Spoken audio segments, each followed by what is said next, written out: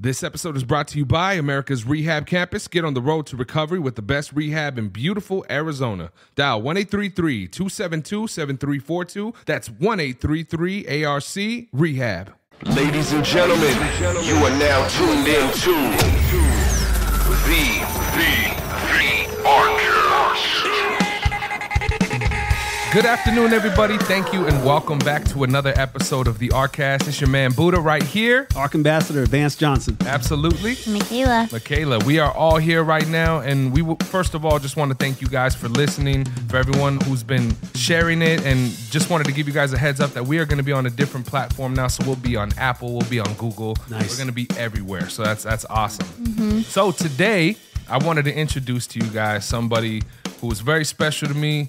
My homeboy, he's been here for a while, man. I've seen tremendous growth in this dude. His story is amazing. He's an amazing person. Ladies and gentlemen, give it up for our homeboy, Marcus. What's up, Marcus? Yeah, what up, dog? How you doing? Yeah, what up, Buddha? Good. Thank you for having me. Hey, thank you, man. I appreciate you coming Yeah, through. and I'm excited to see you, young man. Yeah, you t- you guys too. And I wanted to say, Buddha, you're a big part of my story too. Dude. Wow. Yeah, thank Big you, brother. part, Yeah. Praise God. Hey man, God is good. That's that's such a blessing. Uh, It's a it's really crazy, dude. Coming through this whole process with Michaela and Vance and the people that we've had in here, I've never felt so much in my life like God has been working. Like He's been working. You know, Every day. I'd been praying for a while about trying to be into a sense of community. You know, being around uh, other Christians, other people that are faithful. Yes. And you know, it's, it's I'm just very grateful that God has allowed. And what's awesome? This is the way He's using you. Yeah, all of us. said. All of us. Oh yeah, all of us. But this right here is your gift, and that's the reason why we're on this podcast because you're yeah, the one man. to put it together. Hey, praise God. Praise Balance. God.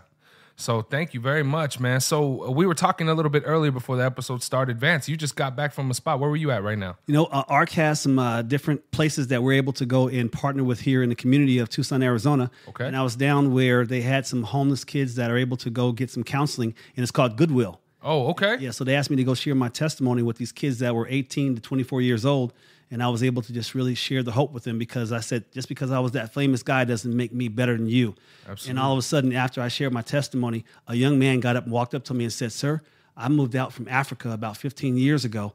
And I just want to thank you so much to show how you even had to go through the things, even though you were famous, that I went through as even as a child. That's even cool. struggling here in Tucson, Arizona, since I've been here the last 15 years, but I'm able to know that we all go through it. And so thank mm-hmm. you so much for that. And then eventually they came up to us and talked to uh, Patricio and said, Is there any way we can maybe refer a couple people that really need to get into the ARC to get treatment? All And that's what he said, yes. And so that's the very reason why, and things that we do here in Arizona. And that's why the people that are listening right now, if you have loved ones that are dealing and struggling, please reach out to us. That's And so amazing. that's why we have the ARCast. Hey, man, and that's why God is using you be able to speak to all of these amazing kids. That's that's that's great. That's awesome. Thank you. Oh, you know, I forgot to tell you this. Guess who else reached out to me? Who's that? University of Arizona did. Oh yeah. Yes, the heads of the University of Arizona asked me, Vance, will you show up coming up on this Friday to come talk to all the athletes because we want them to know that just because that you were famous didn't mean that they weren't struggling like you uh, were struggling when you were in college doing the wrong thing when you were off the field. Whether it was the gambling, having sex with women that you weren't married to, and the addictions that you struggle with. And we want that superstar to come tell these kids, you need to run the right play on the field and off the field. Oh man. Oh, Friday's gonna be a busy day. You Yes, better drink some lemon tea. Get your throat ready, bud. All right. That's really cool. Michaela, how are you doing today? Doing wonderful. Doing good, mm-hmm. man. Uh, prayers. I know you said that you saw an accident on the way up here. did. Prayers to whoever that was. It's, it's a mm-hmm. horrible thing. Yes. But man, I'm, I'm grateful we're here again. We have another episode. Marcus, brother, you have been a blessing to this facility, man. you. For sure, for sure. How long have you been with ARC now? So two years, two years. I think a, a week ago it was. Wow. years. Congratulations, Wonderful. young man. Yes, dude. Wow. Yeah, just the feeling that I have being able to work here. This is I have a special place in my heart for the ARC because Wow. yeah. So um, my three years sober is coming up on um, October 28th. Nice. Yeah, and that's, uh, Yes, nice. Another applause for you, brother. Yes. and that's the day I stepped into detox and. uh you know, I just I, I was at that time I wanted to put it all in. I was ready to put it all in. You know what I mean? So and yeah, family here. I get to work with family every day. That's, That's great. awesome. And I can't wait to get into a story because the very thing that he had to endure through life, look where he is today. Yeah, absolutely. And you've you've worn a lot of different hats here too, Yes, man. So we'll, we'll get into that. But first things first, um, I just want to know a little bit about your story, man. Where, where are you from? So um, I was born in Fort Carson, Colorado. My mom was in the military. She always tells me too, like she just, she's from a small town in Michigan, Uh-huh. so she's like, whatever I need to do to get out of there. So yeah, so we've lived Texas, New Mexico, Alaska, Wow. Colorado. All over the world. Yeah, so yeah, I've moved around a little bit, but I, I loved it. How'd you end up in Colorado? Um, so she is uh, at Fort Carson, the base out there. She was stationed out there, so that's where I was born. I know right where that is. Yeah. Wow. Yeah, I love Colorado. That's but, yeah. awesome. Are you a Bronco fan? No, sir. That's okay. Cowboys. and that's okay. 'cause guess what I Cowboys? tell All the way. people? Cowboy fan. Yes, sir. Guess where the Denver Broncos were born at? Where, uh, were they in, da- In uh, Dallas. Yeah, Dallas. Because yeah. all the ball players that played with the Dallas Cowboys were sent to Colorado to become coaches. yeah, I didn't know that. So I always guess who my favorite team is? The Denver Cowboys. yeah, Cowboys. Yeah. That's cool, man. Yeah. All right. So take us into your childhood a little bit. How was your childhood? Um, you know what? I had a, a stable household. Like when I think of my mom, I think of a strong woman. You know what I mean? She uh, taking us to all our appointments. I never had to worry. Um, I saw her strength um, when I was growing up, and I uh, I fed off that. I was the, the eldest, so I have a brother and a sister. So I felt like I needed to be there for support for her, help what Oh, she yeah. needed. Yeah, so I was the big brother. Yeah. Very much. So um, I was raised with my mom, my dad, my brother and sister. And when I refer to my dad, he's not my biological dad. He was in the military too, but by all means, he's my dad. So Yeah, absolutely. he's, Love that. he- yeah, I have his last name, adopted me, and I think uh, I was two. So yeah, he's awesome, awesome guy, and I still look up to him. So That's yeah, he's a, a big part in my story too. That's great. Mm-hmm. That's great. Okay. So you grew up with your, you know, with your parents were taking care of you and stuff. Mm-hmm. So How did you hit rock bottom? Well, you know, you know, it's crazy. Um, in high school, I, I kept myself busy. I think sports kept me out of it. When I'm uh, when I'm busy, I'm doing best. yeah, and I, for the most part, the normal thing, you know, smoke some bud here, drink. But I managed to stay busy. And my my, uh, I think I got my work ethic from my dad. Yeah. Too. So he is on me about that. You know, I hated it at the time, but today I appreciate everything he's taught me. So who Yeah. introduced you to drinking and smoking back in the day? So just the the type of the people I was hanging around with, but um, I really could drink like a weekend thing, smoke a weekend thing, but I identified too that I did have an addictive personality. Oh, yeah. So, so when we started doing something, when we were drinking, I'm going all out. I- you know what I mean? I'm I'm I'm doing something. You know what I mean? And I started recognizing that in my family. Um, no one, I'm, I'm guess you call it the black sheep. No one, no one was like that. My mom didn't drink. My dad could drink, and I wouldn't see him drink again for weeks. yeah. So you answered yeah. my next question. Yeah, yeah. So I It wasn't in the house that you learned it; it was outside the house. exactly, and you know what I wanted to get into about that is I think I didn't really understand. I didn't understand what addiction was. I didn't understand what um, withdrawal was. You know what I mean? When I thought of drugs, I thought of criminals, right? Mm, yeah. So yeah, so it's a little confusing to me. But I think the day I realized it too. So I was uh, like I said, I was in sports. Yeah. Broken so many bones. Um, yeah, I was a kid that wanted to do the, you know, right on my bike, wanted to do the jump first. You know what I mean? And um, yeah, so I I think the first time I um I was prescribed some pain meds like usual, and um I think you know I wanted to be wanted to be the tough guy. I didn't want to take that. So and, and the one time I took it, there's just I it felt like something inside of me just was like, yep, like this is it. You know what I mean? Wow. I'd You cer- sharing my testimony, man. yeah, it's just like I was it just numb me. You know, Yep. these things that I didn't know how to to handle that no, I didn't my family didn't understand. For example, uh, like I would act out and when I act out I was aggressive, start punching things and it, it's it's like when I used that pill for the first time it just kind of numbed me like everything was good. Yeah. Wow. Yeah. That's crazy. And how how was like because I, I think about that man. Well, my son, my baby boy, he's got some issues like anger issues Mm-hmm. Yeah. Mm-hmm. too, and he'll get mad and things like that. Did was that like a constant thing? Your mom and dad getting on you about your anger and stuff? Yeah, so like I said, my my mom and dad they're firm firm like that, but I just don't think I I was acting out in a way that I could not explain, and that frustrated me. And um, yeah, so I'd get into it a couple times, and yes, my mom I think my, has a little temper too with her, and I respect my mom. You know what I mean? So when she says something, it's it's done. But me and my my dad we'd get into it sometimes, and it's just certain emotions I didn't know how to to process. You know what I mean? And he's military, so Oh, yeah, he's just yeah, like yeah. you know cut and dry. yeah, yeah, definitely. So, yeah, and I, like I said, I've always looked up to him. So I, I feel like sometimes um, felt like I was, I, I guess I was like letting him down with the certain behaviors that I would show, um, certain things that I didn't know how to explain to him about. Like, uh, you know, a lot of us look up to our dads. He's my idol. You know what I mean? I want to make him, make him proud of me, make him happy. But uh, yeah, so I had issues with a lot of that. Wow. Okay. So you were prescribed medications from broken bones. Mm-hmm. Just started getting so. into it, right? Yeah, so it started for um, like medical issues like that, and I think I still I still was working, still was doing sports. It didn't come time, you know. Um, so I moved out my senior year to my best friends, and I think so. One of my roommates, we we had some Percocet, the Oxy 30s. So he had one of those, and we all took one. And like I said, that feeling I just liked. And I'm at this time, I'm it's my senior year, working at Costco, got a car, all that, doing Yeah. great. And I think so. The next day I go to work, I'm like, "Shit, I want to feel that way again. You know what I mean? Yeah. And um, I use it. I start using at work, and it's just at this point, it's it's unmanageable. I don't. I'm starting to get sick, and I don't understand why. You know? Yeah. And I asked my roommate. My roommate's probably like, he said, "You're probably withdrawing." And I was like, "What is withdrawing?" You know what I mean? Yeah. So yeah, at that time it got to a point where I did not want to feel like that. It was either get get some more um, Oxy 30s or don't go to work.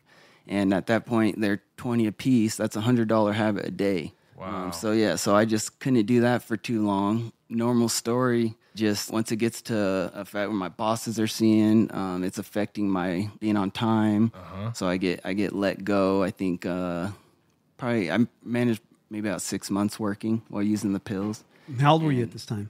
Um, I was I was 18. 18 years old. Yep. Because I want people to be able to hear that might be able to really relate with what, they're, what you're talking about yes. at their age. Yeah. So when I was using every day, it was 18.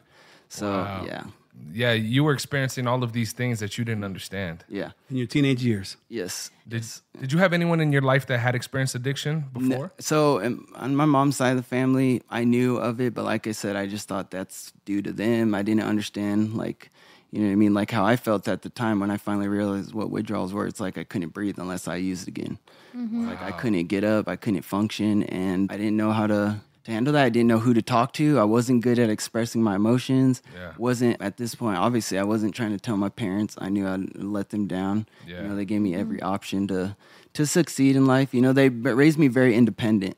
So all, I've always been independent, working every day. Like I had a car in high school. That's because I was working weekends, providing gas, paying for insurance. You know. Yeah. Um, but yeah, so long story short, the habit gets the pills get too expensive. We lose the apartment. I move out of the apartment.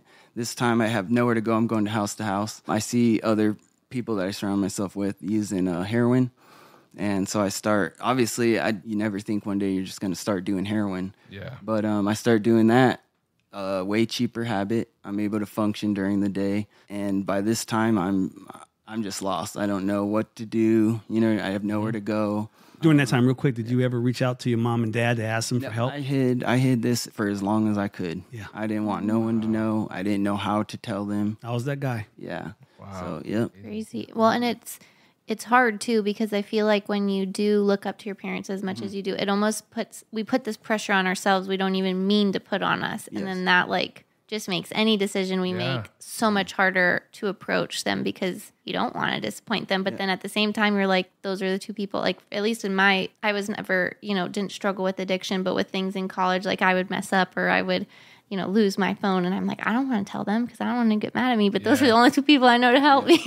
It's true. And it's weird too when you really think about it as a parent, looking at my son, you know, I'm far from a saint. I've made mm. so many mistakes in my life and I know mm. he's going to make plenty of them. But it's weird when you're a kid, you don't think that. No. You just think adults have all their stuff together. You know, if I say something like eh, I'm, I'm just afraid of the repercussions when in reality it's like it's it's just that fine line. Like it's it's so hard for Well, and now I'm a full blown adult and I'm still stumbling through.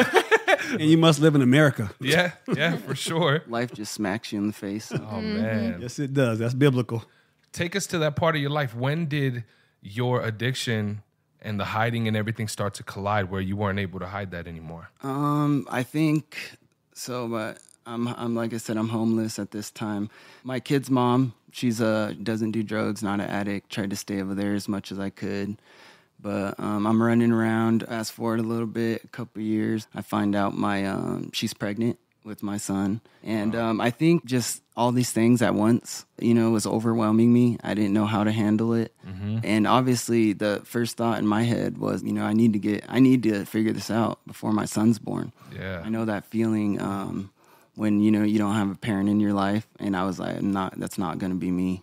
I'm Yeah. gonna be there for my son, you know. Good, And uh, yeah, but in a way, like I wasn't handling it the right way. I was just yeah, I was just kind of shut down, and I I'm I'm a like procrastinator to the fullest. I'm like, I'll okay tomorrow for sure. You know what I mean? Yeah. So yeah, tomorrow, tomorrow, and before I know it, I'm years like months pass. I just I'm just numbing myself. That's all I knew how to do. Just numbing. Um, yep. Yep. And you dads out there listening to him have this conversation and be transparent need to hear what he's saying at that young age, being that father, so that you guys can see that you need to change. So that you can be in your kids' lives, like this young man is sharing with his testimony and starting off before we get into him getting into the treatment. But this is really important what he's sharing right now. yeah. A lot of fathers need to hear what he's saying. For sure. And like you said, the numbing thing. I mean, the way that I see it, it's like sweeping dirt under the rug. You can only Yeah. sweep it under the rug for so much before that rug starts sir. piling up, you know? I was the king of that, just piling stuff up to the side, not not um, dealing with it, running from all my issues. And and it's not that you don't have inside of you what it takes to handle it. It's just when mm-hmm. you're so exhausted from all of the stress and all of the pain that you're going through, just can't process it. Yes, and what I realized today is the shame and guilt I had. I was just so mad at myself. I was looking for whatever I could to blame mm-hmm. blame something else. Mm-hmm. Um, it was really tough for me. I didn't know, like I said, I didn't know how to handle that. Didn't know how to move forward. So I just kept going deeper. Started um, IV use heroin. Meth came into the picture. Wow. Um, yeah, and like I said, so I'm one of the people that I push my family, people who care about me, away. So I'm getting by this time I'm around people who I'm looking at. I remember just sitting there one day and just being like, what, like what am I doing? Like who am I? Who am I surrounding myself with? You know, Guys, and look, I want you to hear how the devil works. Yeah. He literally was pushing you away from your own family. Definitely. Yes. Yeah. I'll just literally just push them away. I don't talk to them. Um, and I'm around these people too. I'm not working right now, so I'm doing whatever I need to do. Steals, selling drugs, and it's just it came down to the point where, you know, I'm breaking down. I'm looking in the mirror. I don't recognize, you know, who I see. I just didn't know who I was. I know I have a son coming soon, baby boy coming soon, and it's just I didn't know how to handle that. Doing whatever I needed to do. So, you fathers listening, are you that dad that has a son that's going to be born or a daughter that's going to be born and you're struggling with your addictions? This young man actually is going to be the testimony you need to hear today. That's an incredible story, brother. Mm-hmm. Yes. So let's talk about when you first decided to get treatment. When when did mm-hmm. that occur? Um, like I said, so I think the the first time I can, like I said, I didn't have nowhere to go. I don't think I was completely ready yet. So I think it was a year after I had started the pills. I had people I was hanging around with, wrong place, wrong time. But I have a, a burglary charge, and um, yeah, so I'm put on probation at this point. I'm doing regular drops, and um, he violates me pretty quick. So I'm uh, I go to go obviously go to jail. Okay. Um, yeah, I, I got a big wake up call in there, withdrawn in jail, and I'm I'm just like the it just finally the first time in a long time I was able to think clearly. I was able to think about my son, able to think about what I want to do with my life from here. While you were in jail. Yeah, while I was in jail, and um, just I kind of kind of put in perspective what was important. And Did they give you, real quick, did they give you an option when you were in jail to get treatment or that wasn't a part of it? No, it was not a part of it at the time. So I violated my probation. My probation officer officer didn't want to reinstate me, so I had um, did the rest of my time in jail. Um, when I got out, so I was sentenced to 90 days work furlough, which I was able to get out and get a job. And this showed me that I would, I could, you know, I could get a job. I could transition back into life because I think at this point I was, I've been beaten down so bad, and I just didn't think. I'm just like I was feeling sorry for myself. It's like I got this felony, I can't get a job, and it's just like I had this talk with my dad, and he's like, he's kind of started like chuckling real quick and he's just like it's it's not that you can't get a job you know what i mean it's Yeah. like it's it's you're gonna have to try a lot harder but and it's kind of put I, when he spoke i listened so Yeah. yeah, mm-hmm. so i i found a job started started transitioning living living normal but i always had i had this on my back i was returning to the jail every day so it was just in my head am i going to use when i leave here Yeah. and um Did you admit that you had a problem with addiction with your to your parents at that time? Yes. So when I when I was in jail, obviously I couldn't, you know, what I mean, I came clean to it, and even when I came clean about it, I, I was still lying about so much stuff. Yeah, I get it. I was that guy. Yeah, I just could not tell the truth. So it was just is embarrassing. Like I said, that feeling of letting my dad down, letting my mom down, because they did give me the tools to succeed. I just didn't know how to do that, and when I was in jail, it broke me down. Mm. And um, I was just honest to them about everything, and it, it did help a lot. You know, I found out my uh, dad is someone who I could really talk to. That's great. Yeah, that's good. Yeah. And even though they didn't understand addiction, they did their best to understand what I was going through, which felt good. Which at first wasn't always like I felt I I felt like they were judging me, but he's one of the people that I would go to, one of the only people that I would go to when I when I needed to talk, when I had issues about. Wow. That's amazing. And you validate what I always tell people transparency leads to transformation. So, you being transparent about those things that you were struggling with mm-hmm. is going to be leading to where we are today. So, I look forward to getting that part after we figure out how you ended up getting into treatment. Oh yeah. Mm-hmm. You know, you said something that I want to touch base on because I, I truly believe this is a thing. You know, we talking about the devil trying to pull you away from your family, your friends, Yep. and from what I understand as a man of faith, that that is how he works. Is if he could take you away from your family, if he can take you away from people that love you, supporters, people that can talk some sense into you, mm-hmm. Yeah. then he can get you alone, and he's free to say and do whatever he wants and throw whatever type of poison. You know, and it's weird how you said it wasn't until you were in that behind those bars mm-hmm. and you were kicking it. Mm-hmm. Finally, that veil is removed from your eyes. You don't have that, or the the the sheep's coat, whatever it is. The wool is removed from your eyes, right? And you're finally able to feel those emotions and see clearly again because he wasn't blocking it. He Can, I, wasn't. can I prove that biblically? Yes, 'Cause what please. scripture says is those demons that possess you and that are making you do all these bad things, they leave the house sometimes because they can't use you. And so when he was in jail, they couldn't do nothing with him anyway because he was already locked up. So they left for a little while. And that's when he started getting a clear mind. That's it. Yeah, That's crazy. But they come back. Yeah, they want- do. They come back. They do. Tempt you some more. And that's the reason why sometimes we end up relapsing. Uh huh. Yeah. Absolutely. So yeah, one issue I think I had though too when I was in jail. Obviously, I wanted to be clean. Yeah. Um, I knew I was better than that, but I don't think I was willing to do what it what it took. Yeah. I wasn't willing to drop the people I was hanging around with. I didn't understand which was a big deal to me, so I was surrounding myself with the wrong people. Um, I wasn't re- willing to forgive myself. That's uh, I when I look back, I'm just I was just so hard on myself, and I punished myself for it, and I didn't know. Yeah, so it was it was really tough for me to kind of to point that out and just kind of you know look just look at myself and say, what do you want to do? What do you are you- you're better than this? You know. Yeah. And I think that's a part that isn't always touched on a lot in recovery mm-hmm. journeys is how hard it is to forgive yourself and how I mean, we're our own worst critics. So then you mm-hmm. put your yourself in that situation and you're trying to like get your life together, but then you're also trying to like accept where you've been to be able to move forward and it's it's a hard thing that people don't realize like that in itself is just a whole nother added layer to the challenge of recovery But the fix on that layer is in God's word, he said, because when you become a new creation, the old you is past. Behold, Mm-hmm. all things are new. So, man, thanks for saying that because that- you just took me right to the scriptures where it But says, you have to trust that and you have to to be willing to let that go because everything is new, but you have to believe that. Boy, I wish I was screaming hallelujah right now. at what you just now Go said. ahead. I'll lower your mic. You can scream as loud as you want. Yeah, let me take these off real quick though. first. yeah, that's awesome, man. So you decided, was it when you got out of jail that you wanted to get treatment? So yeah, when I got out of jail for the first time, I tried, and like I said, I struggled with this multiple times. I just wasn't. I guess I can say I'm hard headed for sure. Yeah. I gotta learn it the hard way. Mm-hmm. So I definitely, like I said, my son's on the way. I I'm doing whatever whatever I can. So I, I enter my first treatment center, and I kind of, you know what, I just I told myself I'm 30 days. That's gonna fix it. The minimum I could do. I wasn't willing to change certain things, and I uh-huh. just thought by coming to rehab, it'll fix that. You know. And um, yeah, so learned that the hard way. Got out, would um, relapse, and I was like I said, when I relapsed, I went on another like year run.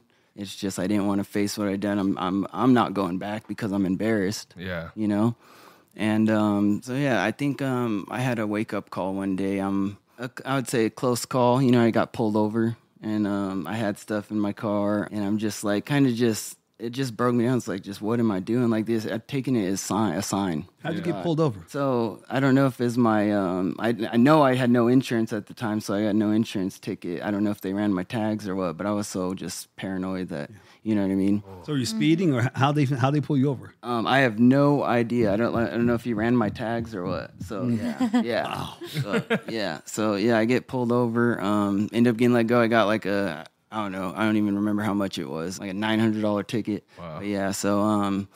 So yeah, at this point, I have nowhere to go. I'm living out in my car. I'm going house to house, getting closer to my son being born, and I'm just, You know, I'm like, I this is the first time now. You know, I find the arc, and what's crazy about it is I've heard about it from some friends. Yeah. You know, so I come here, I come into the detox. You know, and um, I think still I was like looking for something to blame, some excuse to leave. I was just un- uncomfortable, and I remember I was I wanted to leave one day, and a BHT had stopped me, and he's like, "Do this for me." He's like, "Just." He's like, eat, think about it, let's watch the game. It's like I came in around isn't football season, but he's like, just watch the game. He's like, and if you want to leave, you can leave. He's like, it's um he's like, you know what's waiting out there for you. He's like, um, why not see what see what's this way? You know what I mean? I like to think of it like a street sign, like you can go this way, death, and that way, life. And it's, Oh, it's yeah. easy picture for me, and I'm just like, I want to live. You know what I mean? I wanna I wanna fight. Wow. And uh, yeah, and, and it was just comfortable for me in, in detox. He's, you know, he it felt like to me like he's understanding a little bit. And I had um, came to residential. Like I said, that's where I met you, Buddha. Yes, sir. You're big part. I don't know if you remember this. It's uh, so embarrassing. So this is something I do. I um, I remember a day too. We we were going on a trip to the zoo, right? Okay. And um, I was like, um, a therapist told me she's like, well, you can't go to the zoo because we have to finish. Um, I, it's something I had to do a one on one or something. And I got, I remember getting so mad. I was like, no, I'm I'm gonna leave if I can't go to the zoo. And I came and talked to you about that. And I remember you just kind of talked to me, and I and I thought about it, cooled me down, and I thought about it after. I was like, why am I worried about going to the zoo? Like I'm here for my life. You know what I mean? Yeah. Like what am I doing? So yeah, just kind of kind of and i talked to you and you kind of put things in perspective and i was like i just had to just not prioritizing anything I- Do you see how God's using you, man? Hey, that's awesome. That's awesome, brother. yeah so yeah it's embarrassing to think back to but it's just certain certain little things like that that this place helped me out with i was comfortable the staff i felt like they truly cared Yeah. um, I met some some like-minded people that I didn't really. Every other time I had gone to another rehab, I just kind of tried to skate under the radar. Uh-huh. I was finding myself actually digging deep. Like I said, the therapist I had, and this was uh, where I made a lot of progress too. The therapist, I had a one-on-one with her, and she uh, was asking me these random questions, and I think she found something that she saw bugged me, and she stuck on that. And it's and I just started. I just broke down because I don't I don't express my emotions well at all. Yeah. So yeah, I'm I'm I broke down, but after that, you know, I went and I Start went, running the right play. yeah, and I went. I just went and I prayed, and I just something. It was like a switch just went off in me. And prayed? yes, I, I got on my knees and I prayed, and you know what? I didn't ask for anything. I was just uh, thanking Him that I'm still alive. You know what I mean? That I'm still here. It's just something. Something got me engaged. Got me to want to fight. Yeah, so it's just different parts of this place. I have a big spot in my heart for it. That is That's Yeah, and it just being able to work here to give back. Like I said, I'm no no motivational speaker or anything, but I feel like my uh, passion has been just to communicate like that BHT did with me that day. Just someone to know that they're they're here, they hear you. You know what I mean? Yes, I. I love doing that, and it's just you know I've been in the same position as some of the clients, and I feel like I, awesome. I, I can really do some good in that way. You know? God, uh, dude, your story is your story is really cool, dude. Thank you Mm-hmm. for coming in and sharing with us. I remember when when you first got hired on, you started with Vic and Yes. all them. You were And that's I wanted to give a shout out to Vic because he has a, a big spot in my heart too. You know, it's it's at the time he um I was uh when I graduated from here, I went into sober living, Oxford. Arc made sure I was all set up in there. And that was I think the biggest change for me. So every other time I had left rehab, I didn't have no plan when I left here. So what do you think's gonna happen? You know what I mean? You don't have a foundation, you don't have anything. So when I left here, it's all set up. had the Oxford house. I had these guys around me that were keeping me accountable. These people that were where I wanted to go are doing the same thing. So we had each other's back. Wow. It's a big deal for me. So I had gotten a job at Ace Hardware right across the street. Yeah. And uh, obviously Victor, Moses, they they go in there, get little parts, keys, and I, he'd seen me one day, and he knows uh, knew my boss over there, and he saw me, you know, working, recognized me, and one day he's just, we need some guys. Do you want to work for me? And I just was like, like I couldn't believe it. I was like, really? You know what I mean? Like for, for- at this point, I hadn't held a job down in years. I didn't. You say I had no confidence. No, at all, no confidence. So him doing that really meant a lot for me. So when I came here, I did whatever I could, and I knew I was capable of it. A lot of these things, like like I told you, when I was raised, my dad taught me a lot of Yeah. A lot of the traits I know today. So it helped me a lot. That's but um, cool. yeah, so Vic has a special place in my place in my heart for that. Gave me that chance. I feel like that's what I needed. I was able to build on that. And yeah, so like you said, just taking whatever steps I can. So started as maintenance, became a you know did my time, Heck it- yeah. moved up BHT, got certified as a RSS. So That's yeah, it's- awesome. yeah, it's, it's it's awesome now being able to give back and to see to see like when I it's special to me like when I was in, in when I'm in detox I really feel like I can do some good. Like, Yeah. You know what I mean? Just talking to the guys like I just I'm recognizing that's where I used to be, you know? I understand that feeling. That's awesome. I want to say something real quick because when you said you prayed, you took me to a mm. scripture in 1 John 5 14 that says this. And this is this young man praying. And this is the confidence that we have towards him, God, that if we ask according to his will, he hears us. So he heard Right. you. He mm-hmm. heard your prayer. Man, prayer is a powerful thing. Yes. Yeah. Most definitely. Mm. Dude, I mean, you know, you've been here for a while now. Now you're working with our IOP department, right? How has your life changed? How do you how do you feel on the inside now? Like being able to be here every day, being able to transform people's lives and I think the biggest thing dude, is I learned how to love myself, you know? that's great. You know, I can look in the mirror, I know who I am. And I'm passionate. I come to work, you know, and, and I'm happy every morning. That's good. and it's a feeling I had lost for a long time. You know, I get to my, uh, I get to look at my. I feel like my son gets to look at me now, and he has a something to he, something to look up to. He's proud of dad. You know what I mean? That's a priceless Um, feeling, man. Yeah, it is. Yeah. And- Now you have a relationship with your son. oh yeah, yeah. He looks God. just like me too. He got got cursed cool. with my big ears though, but he's Yeah. yeah, but he's yeah, he's awesome. He's an awesome little dude. I wish I was like him, man. wow. I ended up abandoning all my kids, but Yeah. I wish I was a father like you. So was- you did the right thing so you could be that father.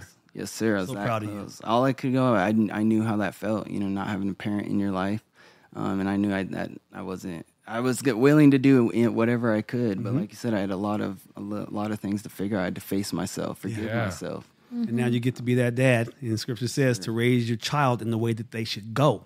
That way they won't even depart from it when they're older. Yep. So you get to be that dad. Yes, sir. Wow. That's fantastic, Marcus. Yeah. And now that you've now that you're to the point where you are now, is your relationship with your family rekindled and they're Yes, great. Yep. That's my awesome. mom, my dad's one of my best friends. My brother, my brother's a little completely opposite. He's a little genius. Dude lives in San Diego. He's Yeah. a program like he's a programmer. Uh-huh. Oh, that's Tesla and stuff. So yeah, it's awesome. Oh, to see him grow. dang. Yeah, so he's a little brainiac.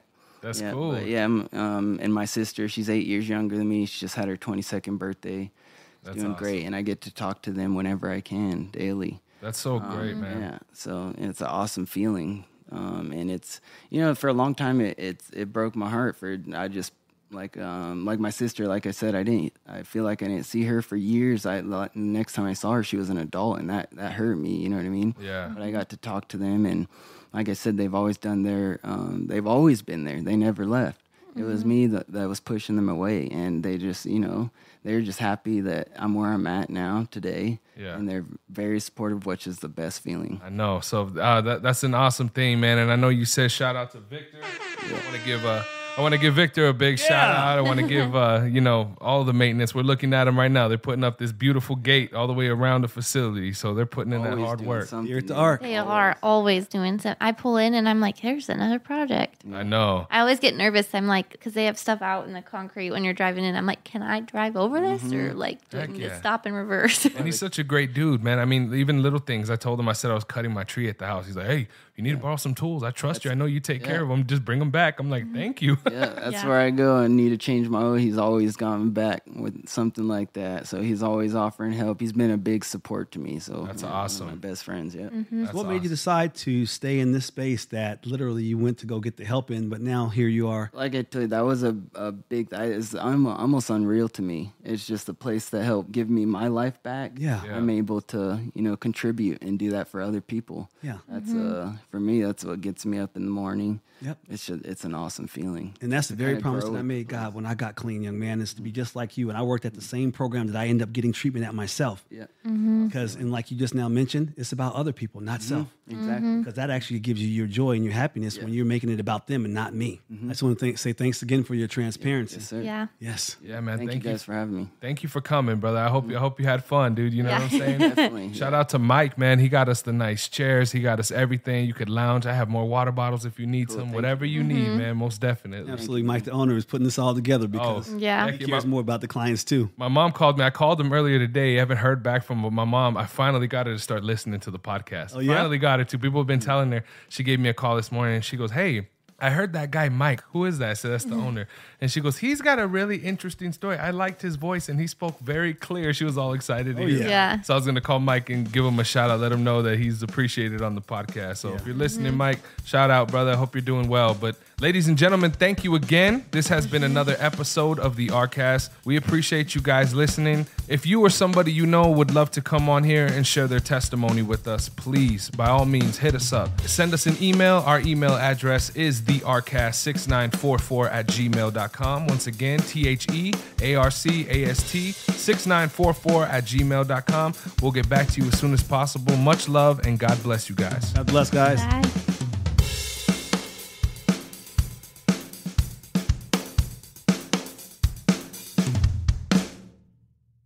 What's going on, everybody? This is Buddha from the ARCast, and I just wanted to thank you for checking out this week's episode. It means a lot, and if you could share it with a friend or a loved one, somebody you need in recovery, or maybe somebody who just needs that little bit of extra positivity in their life, we'd greatly appreciate it. If you would like to join us here on the ARCast, either in the studio live or online, hit us up. The links are down in the show notes of this episode, and on there, you can find direct links to our main website here at America's Rehab Campus and all of our social media platforms. Follow us. We keep the posts positive and motivational, focused on recovery, health, and wellness. As you know, in this modern day and age, we need as much love as possible, y'all. And as always, if you or somebody you know is in need of substance abuse treatment, please don't hesitate to give us a call. We're open 24 hours a day, and our direct phone number is 1 272 7342. Once again, that phone number is 1 272 7342. I hope you all have a beautiful rest of your day. Much love and God bless. Peace.